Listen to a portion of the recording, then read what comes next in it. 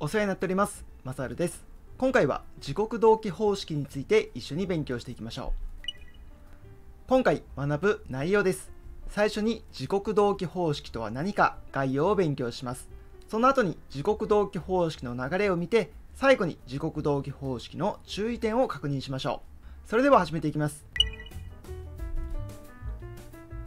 前回の動画でワンタイムパスワード方式の S キーについて学習しました。ワンタイムパスワード方式は S キーだけではなく時刻同期方式という方式があります。時刻同期方式は認証時の時刻をもとにトークンでワンタイムパスワードを生成します。パスワードは時刻の情報をもとに一定時間で変更していきます。パスワードがどんどん変わりすぎてしまうとユーザーの入力が追いつかなくなってしまうので通常は1分単位でパスワードが更新されることが多いです。トークンはハードウェアとしてパスワードを生成するハードウェアトークンとクライアントの端末にソフトウェアとしてインストールして利用するソフトウェアトークンがあります。では時刻同期方式を利用する場合の流れの一例を見ていきましょう。事前にクライアントと認証サーバーは時刻同期をします。そして認証サーバー側にクライアントを識別するためのピン番号を登録します。事前準備はここまでです。認証時、クライアントはトークンを利用してトークンコードを生成します。次に生成したトークンコードとピン番号を使ってハッシュ関数を使って計算を行います。算出された結果がワンタイムパスワードとなり、認証サーバーに送られます。認証サーバーはクライアントが行った計算と同じようにトークンコードとピン番号でハッシュ処理を行い、その結果を比較して検証を行います。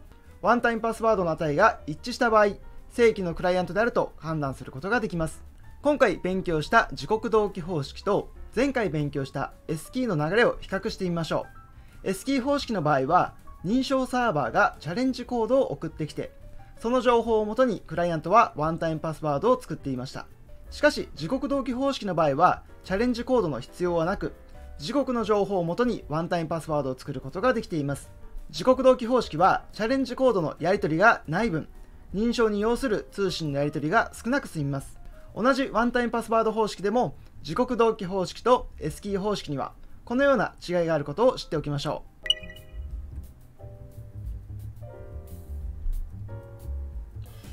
時刻同期方式は、クライアントと認証サーバーが時刻同期ができていないと認証が失敗してしまいます。例えば、クライアントと認証サーバーで1時間時間がずれてしまっている場合、当たり前ですが、クライアントが送るワンタイムパスワードと認証サーバーが作ったワンタイムパスワードに差が出てしまいます。差が出てしまうと、もちろん正しく認証することができません。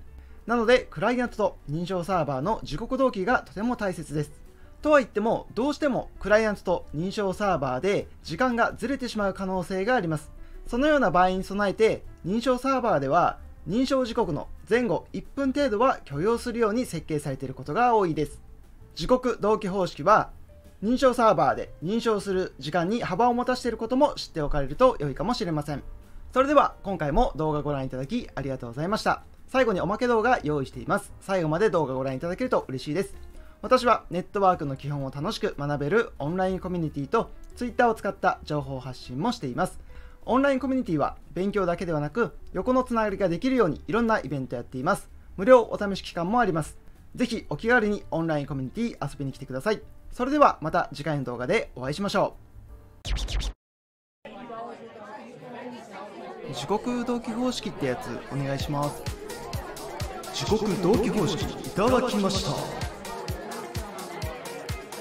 はい、今日も今日も？学んで学んで？登録テキスペ？情報支援し時刻を使って OTP トーク。ン使ってコード生成ハッシュ処理して OTP 送る。時刻を使って OTP トーク。ン使ってコード生成ハッシュ処理して OTP 送る。時刻同期の注意点。